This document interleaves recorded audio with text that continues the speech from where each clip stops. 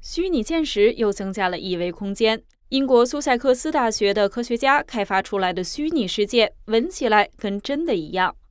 用户打开一扇虚拟的门，进入了雨林，有人喷洒出合适的味道，显得更加真实。这是一种真实的沉浸其中的感觉。您在这个环境中探索，您闻到了这个环境的味道。味觉技术过去也有人试验过，记得是一九六零年代的味觉与视觉电影。这些科学家说，这是回归的巅峰。在我们意识的门口，把情绪、记忆和使用味觉或者可能的味道都连接起来，这是我们的技术能够做到的非常了不起的事情。这么做并不只是为了娱乐。这里有一台驾驶模拟器，上面安装了一个味道喷洒器。在这个展示中，我们要在司机开车每次超过限速的时候喷洒薰衣草香味儿。我们选择薰衣草的原因是，这种香料能够使人平静。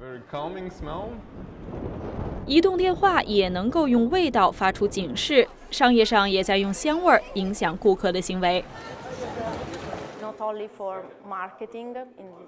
不只是用于店内的销售，体现出标志品牌，还能够吸引和刺激人们购买的冲动。比如，您在图书馆里闻到了咖啡，实际上您无意识的就感到想喝一杯咖啡。马基奥尼说：“味道在人类的反应中是非常重要的。比如，男人闻到眼泪，雄性荷尔蒙水平就会受到抑制，就会表现出更多的同情。这种心理学反应可以运用到新技术上。在与机器人的互动中，如果机器人有着与我们类似的味道，我们如何才能够与它建立起信任？这个前景令人激动，对某些人来说更具有挑战性。”科学家们说，味觉到目前来说基本上还是未开垦的处女地。技术的进步将刺激这一领域的发展。美国之音记者李基维尔，英国布莱顿报道。